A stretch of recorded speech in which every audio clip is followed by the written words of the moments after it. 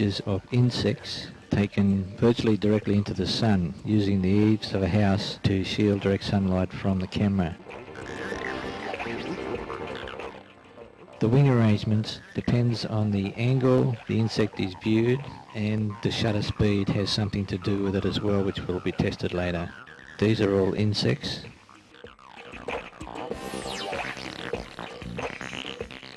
One in the lower right hand corner could be a grass seed moving quickly across the view of the camera. We intend to set out not to disprove the rod phenomena but to see whether it really does exist. Try different cameras,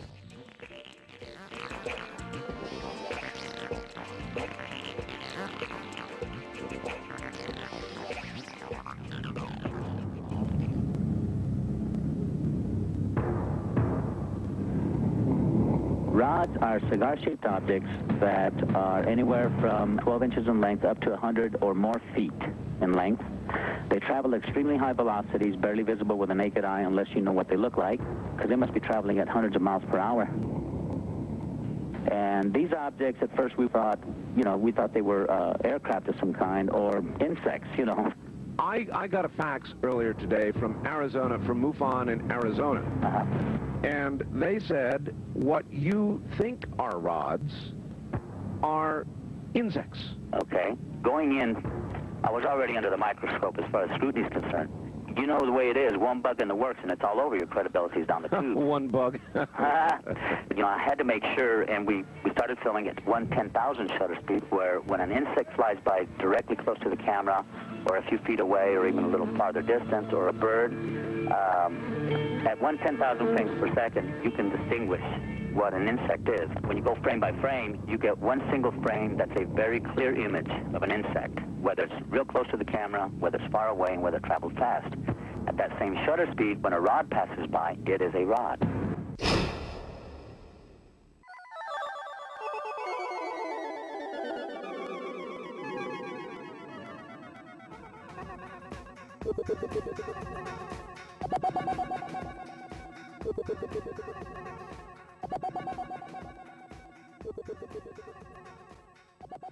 This is a real-time piece of footage.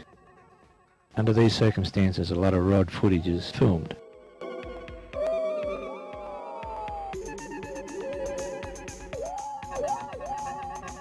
There's a lot of grass seed, insects moving at various speeds, and a lot of cobweb. Sometimes this type of cobweb is mistaken for angel hair. Some are shorter and some are longer. This depends on the distance from the camera and the speed of the insect. Normal shutter speed, 1 50th of a second.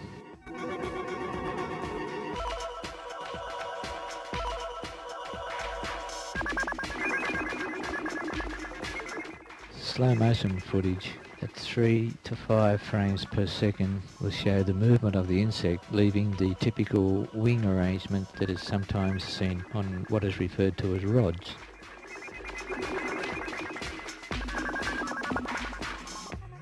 You may notice some of the, like that larger one there, is very broad in its wingspan.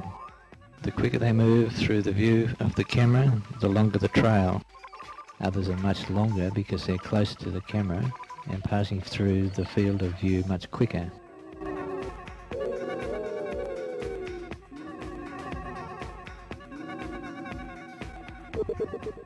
But that is typical characteristics of videotaping of insects.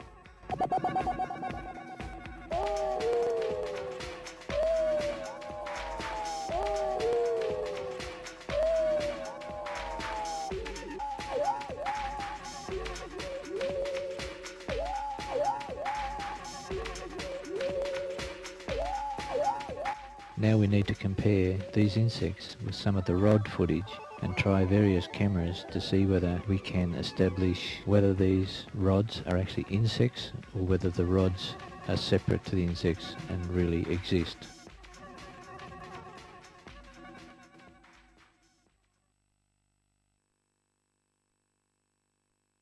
We need to try a high quality digital camera.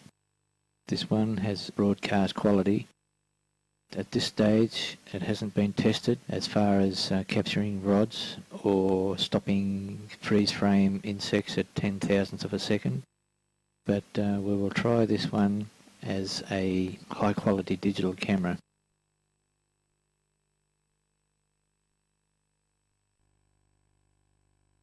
Camera was set up with a nice open view and let free roll for one hour.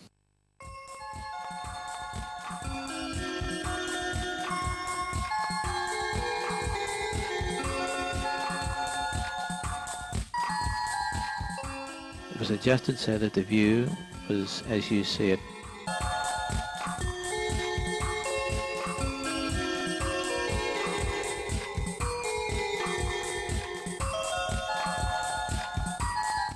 Sometimes you see two images. It's a duplicate of one insect. To remedy this, I deinterlaced the still image and was able to capture the original just one insect and get a closer look at it. Some of these closer ones are beetles and you can see the sun reflecting off the top of the beetle.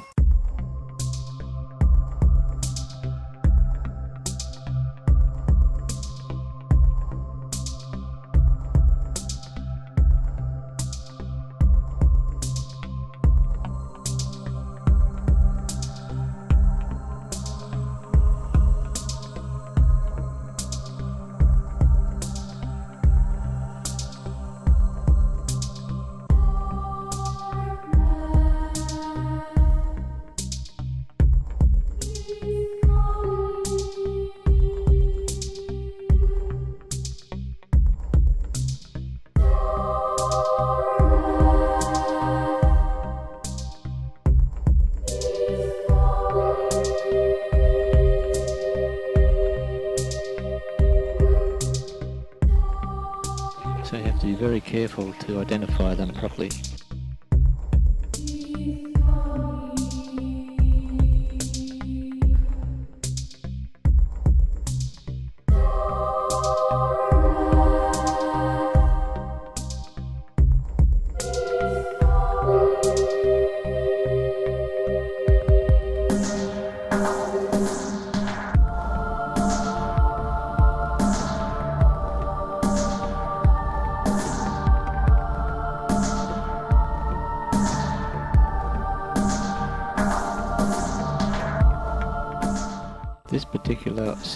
Object only appeared in one frame.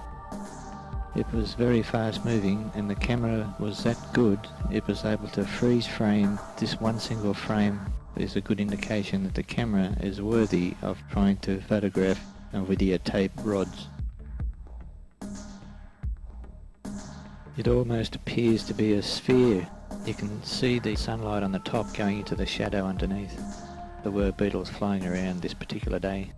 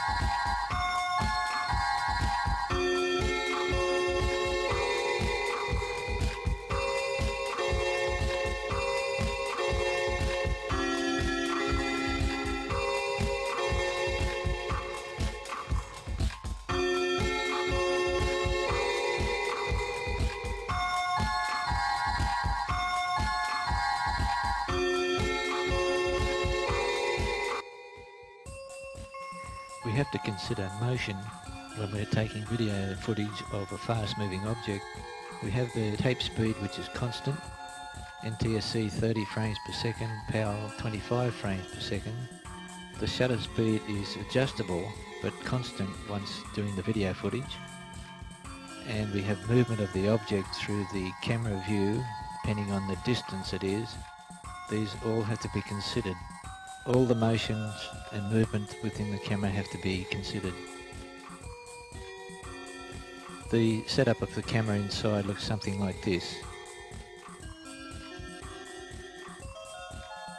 Through the viewfinder we see motion with movement from the object and also camera movement.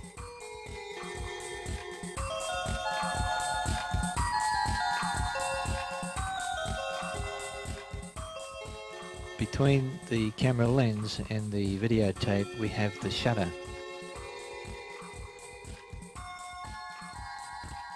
The shutter is a motion that is variable but has to be considered when analysing video footage frame by frame. The faster we set the shutter, you can see by the image that it makes a little difference to what you see. The fast shutter is effective in stopping the motion quicker.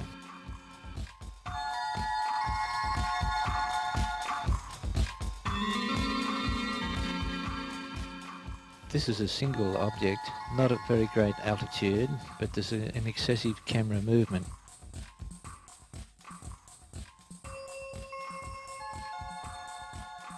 This is typical of a lot of footage that is taken and it is something we'll use as a comparison. Slow motion of that real-time footage shows this single sphere object leaving a motion trail. This trail varies in shape and length depending on the amount of movement of the object or the camera. Just because the trail is that shape does not mean that the object is that shape and this is something that has to be also considered during single frame analysis. This object is a faster moving object. It is also a single sphere. It is leaving a motion trail as well, but the single object is broken up into individual spheres. The motion trail depends on the amount of movement now we see that the single sphere is broken up and divided into at least 12 individual opposing spheres.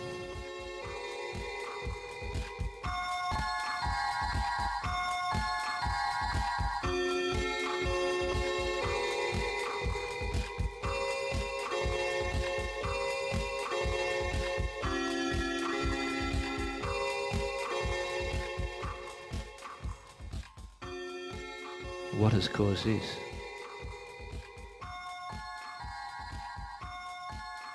It's caused by motion. The motion of the object causing the trail and the motion of the shutter speed dividing the single object up into opposing spheres similar to what is seen in the rod footage. So analysing an individual frame, it's not exactly what you see is what you get. You're not actually videotaping what is really there. You have to take into consideration the movement and motion of all these functions of the video camera and movement of the camera.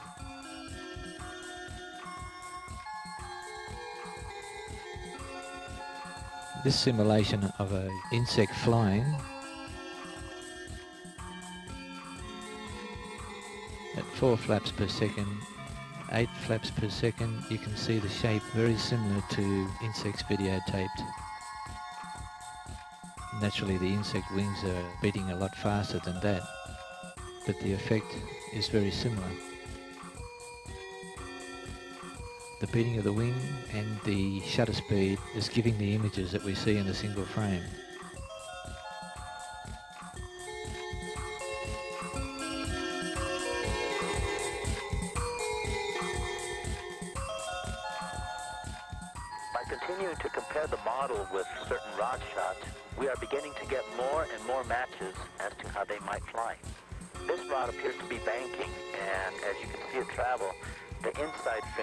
Appear to be static where the others are undulating.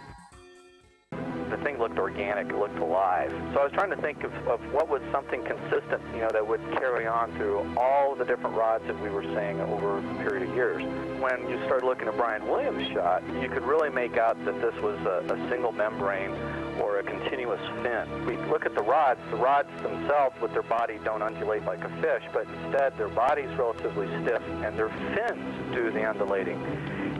And the first thing that came to my mind as far as like a, a, model of what I was picturing, and I recognized a fish I'd seen a long time before, and it's called a black ghost knife fish. The scientific name for the fish is Apteronotus albifrons. Its main means of propulsion is an anal fin, which is the fin that runs along the bottom of the body, from right behind the head where the gill slits are, almost all the way to the very tip of its tail.